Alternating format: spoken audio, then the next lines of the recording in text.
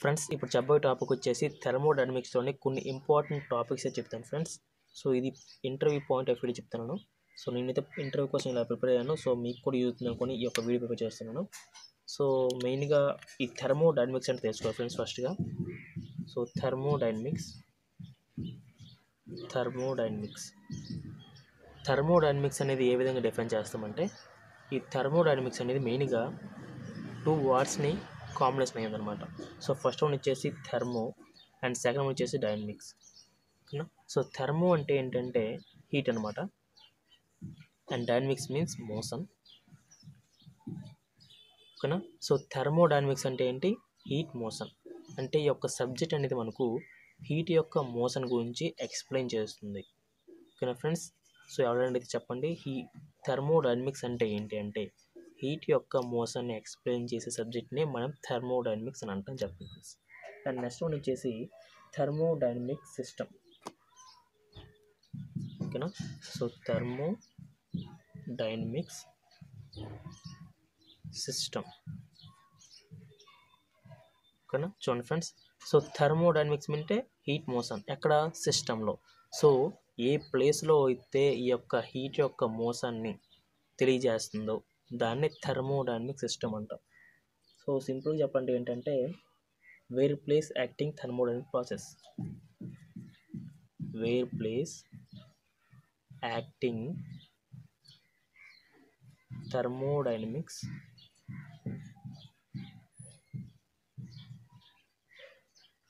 process. So ఎక్కడైతే మనకి యొక్క థర్మోడైనమిక్స్ ప్రాసెస్ జరుగుతుందో ఆ ప్లేస్ని మనం ఏమంటామంటే థర్మోడైనమిక్ సిస్టమ్ అని అంటాం ఫ్రెండ్స్. ఓకేనా? అండ్ నెక్స్ట్ వన్ వచ్చేసి మనకి సిస్టమ్స్ అనే మెయిన్గా త్రీ టైప్స్కి రివర్ట్ చేశారు. అవి వచ్చేసి open system closer system and third one వచ్చేసి isolated system. Isolated system. So వీటి గురించి కొంచెం డీప్గా నేర్చుకుందాం.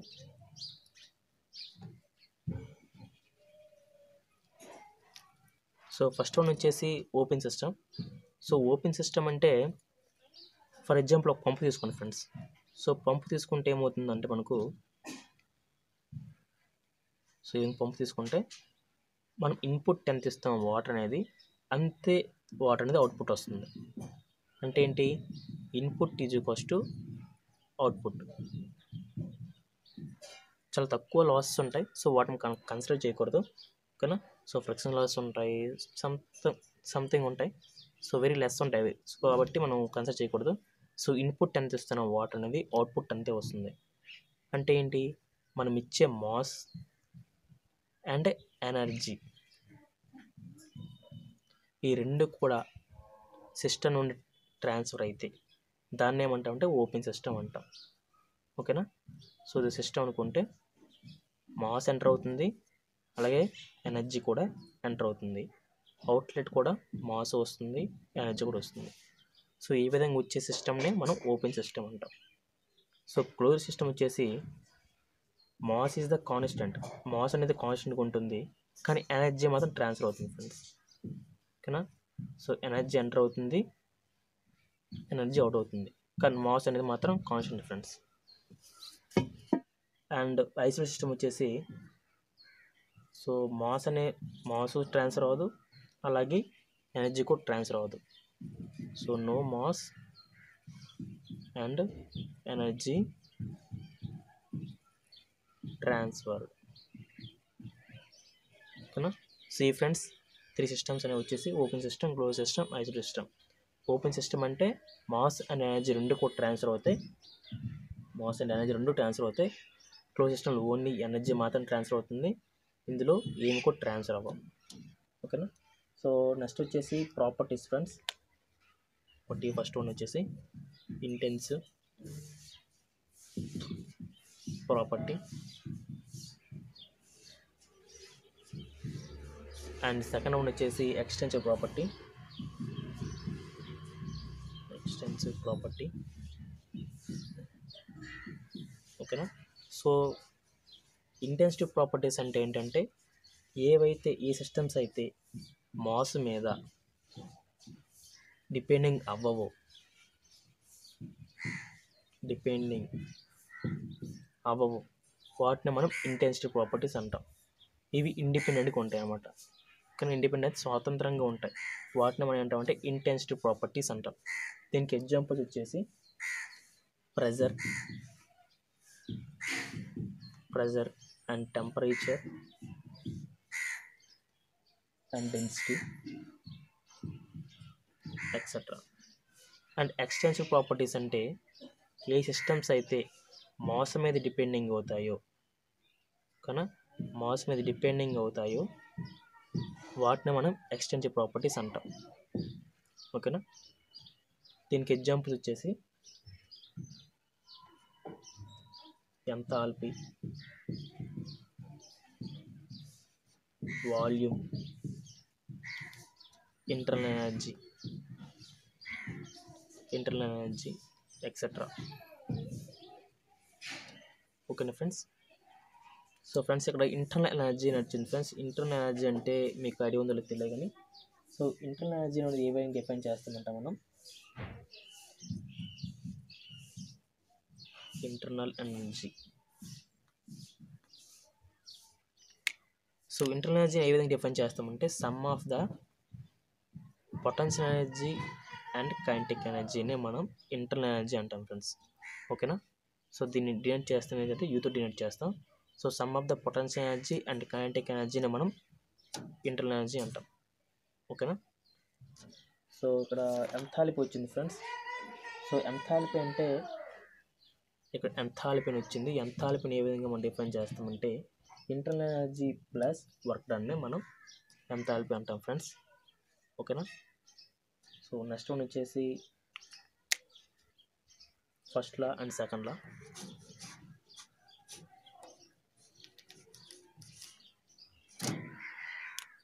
So first law అనేది ఏం చెప్తుందంటే మనకు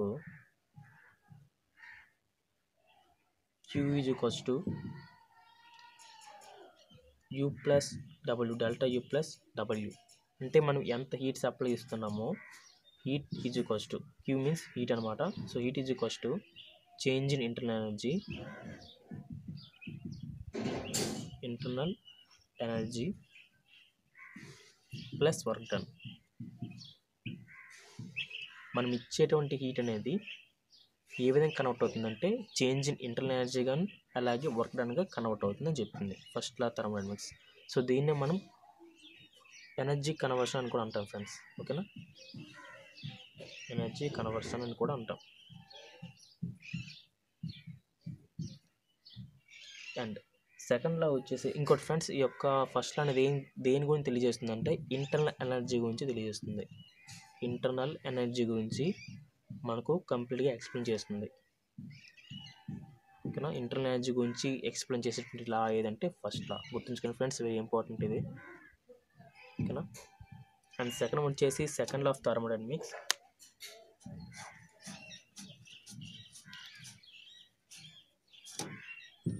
Second law. So second లాని మనం ఏ విధంగా డిఫైన్ చేస్తామంటే సో ఈ సెకండ్ లా గురించి ఇద్దరు డిస్కస్ చేశారు ఫ్రెండ్స్. ఇద్దరు మనకి ఇద్దరు ఎక్స్ప్లెయిన్ చేశారు. ఒకటి వచ్చేసి కెలిన్ ప్లాంక్ స్టేట్మెంట్ ఉంది. సో కెలిన్ ప్లాంక్ స్టేట్మెంట్ ఏం చెప్తుందంటే సో మనం ఇచ్చేటువంటి ఇన్పుట్ అనేది ఇప్పుడు కూడా హండ్రెడ్ పర్సంటేజ్ అవుట్పుట్గా మనకు రాదు అని చెప్తుంది. నాట్ ఈక్వల్ టు అవుట్పుట్ అంట. దీన్ని చెప్పిన వారు ఏమంటే కెలిన్ ప్లాంక్ అంట. ఓకేనా? సో నేనైతే అది చూడలేదు. వాళ్ళు చెప్పారు కూడా మనం ఫాలో అవ్వాలి. సో కెల్విన్ ప్లాంక్ అనేవాడు మనం చెప్పారంట. ఏం చెప్పారు? ఇన్పుట్ ఒక ఇంజిన్ కానీ ఒక ఒక ఇంజిన్ కానీ లేదా ఒక వెహికల్ కానీ తీసుకుంటే ఏదైనా సరే ఒక సిస్టమ్ తీసుకుంటే ఆ సిస్టమ్కి ఇన్పుట్ ఎంత ఇస్తామో అంతే అవుట్పుట్ అనేది హండ్రెడ్ పర్సెంట్ అవుట్పుట్ అనేది ఇప్పుడు కూడా రాదు అని చెప్పిన వాడు కెలిన్ ప్లాంక్ అంట ఓకేనా ఫ్రెండ్స్ గుర్తుంచుకోండి. అండ్ సెకండ్ వన్ వచ్చేసి మనకి ఇప్పుడు కూడా హీట్ అనేది హాట్ బాడీ నుండి కోల్డ్ బాడీకి ట్రాన్స్ఫర్ అవుతుంది. కదా మనకు తెలిసింది. సో కోల్డ్ బాడీకి ట్రాన్స్ఫర్ అవుతుంది.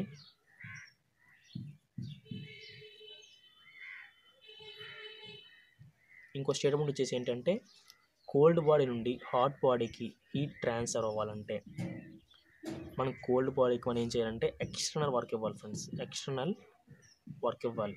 సో ఈ విధంగా ఎక్స్టర్నల్ వర్క్ ఇవ్వడం వల్ల హీట్ అనేది కోల్డ్ బాడీ నుండి హాట్ బాడీకి ట్రాన్స్ఫర్ అవుతుంది.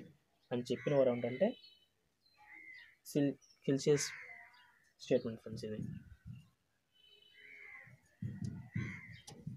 స్టేట్మెంట్ ఇచ్చాడు. అంటే మనం కోల్డ్ బాడీకి ఎక్స్టర్నల్ వర్క్ ఇచ్చేంత వరకు కూడా హీట్ అనేది కోల్డ్ బాడీ నుండి హాట్ బాడీకి ట్రాన్స్ఫర్ అవుతుంది అని చెప్పాడు. ఓకేనా? సో రెండు ఉన్నాయి ఫ్రెండ్స్ ఇక్కడ వచ్చేసి ఇన్పుట్ అనేది ఇప్పుడు కూడా హండ్రెడ్ పర్సెంట్ అయితే అవుట్పుట్ రాదు. అలాగే హీట్ అనేది హాట్ బాడీ నుండి కోల్డ్ బాడీ ట్రాన్స్ఫర్ అవుతుంది. కోల్డ్ బాడీకి కానీ ఎక్స్టర్నల్ వర్క్ ఇస్తే కనుక కోల్డ్ బాడీ నుండి హాట్ బాడీకి హీట్ ట్రాన్స్ఫర్ అవుతుంది.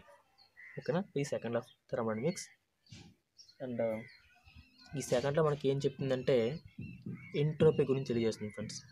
ఇంట్రోపీ గురించి తెలియజేసే లా ఏదంటే సెకండ్ లా గుర్తుంచుకునే ఫ్రెండ్స్ ఇంటర్నల్ ఎనర్జీ గురించి తెలియజేసేది ఫస్ట్ లా అండ్ ఇంట్రోపీ గురించి తెలియజేసేది సెకండ్ లా ఓకేనా? సో నెక్స్ట్ వన్ వచ్చేసి zero thermodynamics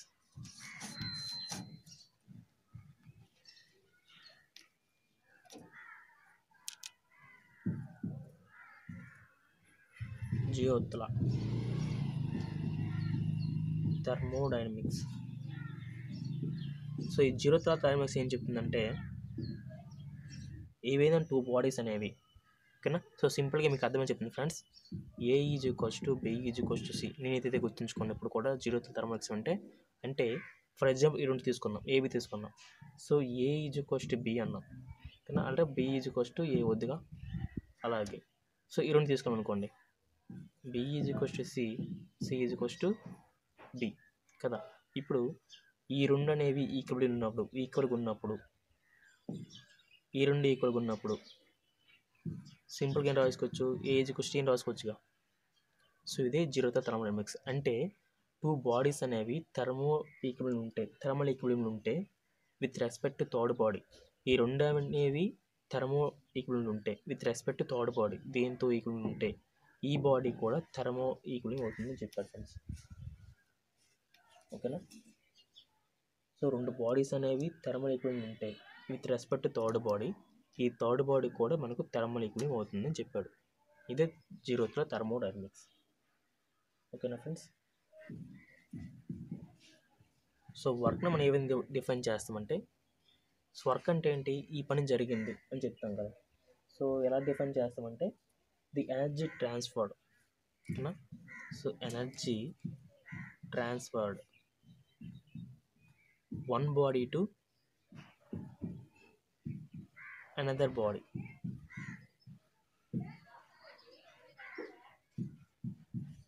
ఓకేనా సో ఫర్ ఎగ్జాంపుల్ ఒక ఒక రాయి ఉంది అనుకోండి అక్కడ ఈ రాయి అనేది ఇక్కడ ఉండి ఈ ప్లేస్లోకి మూవ్ అయింది అనుకోండి. అంటే ఏమైంది? సో ఒక మ్యాన్ అనేవాడు పుష్ చేశాడు ఈ విధంగా. పుష్ చేయడం వల్ల ఈ యొక్క రాయి అనేది ఈ ప్లేస్ నుండి ఈ ప్లేస్కి వచ్చింది. అంటే ఏమైంది? ఈ పర్సన్ యొక్క ఎనర్జీ అనేది ఈ రాయిలోకి ట్రాన్స్ఫర్ అయి మూవ్ అయింది. అంతేనా? So energy transferred one body to another body. ఈ విధంగా ఎనర్జీ అనేది ఒక బాడీ నుండి ఇంకో బాడీకి ట్రాన్స్ఫర్ అయితే దాన్నే మనం వర్క్ అంట. ఓకేనా? సో ఇంకోటి ఏంటి అని రాసుకుంటే ఫోర్స్ ఇంటూ డిస్ప్లేస్మెంట్ అనేది కూడా రాస్తారు కొందరు. సో ఫిజిక్స్ పరంగా దానికి వస్తుంది ఓకేనా? సో మన ఇంజనీరింగ్ పరంగా వచ్చేసి energy transfer one body to another body. And next friends next one వచ్చేసి ఎనర్జీ అని చెప్పాం. Friends so energy transfer one body to another body అని చెప్పాం. సో ఇక్కడ ఎనర్జీ అంటే ఏంటి?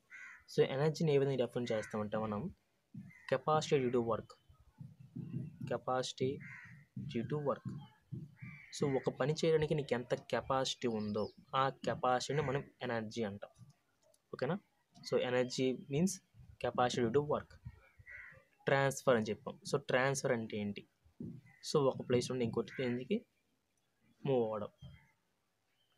ఇది ఫ్రెండ్స్ ఈరోజు వీడియో. ఈ యొక్క వీడియో మీరు నచ్చినట్టు లైక్ చేయండి షేర్ చేయండి సబ్స్క్రైబ్ చేయండి friends.